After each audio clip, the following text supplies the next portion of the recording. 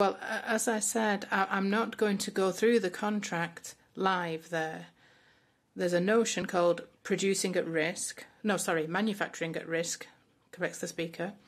And you'll find that in the contract. I don't know now exactly where it is, which article it is, but that refers directly to your question that, that um, companies are required to start producing before the authorization, authorization has been granted so that they can deliver doses uh, once the authorization has been given.